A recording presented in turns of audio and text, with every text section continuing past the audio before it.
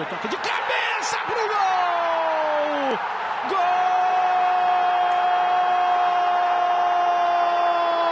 Gol dourado do Internacional! Ele de cabeça joga no canto do Cássio. Empata o jogo colorado. O Inter chega à igualdade. De novo para você, Nico Lopes de canhota levantou. Rodrigo Dourado jogando a bola no gol.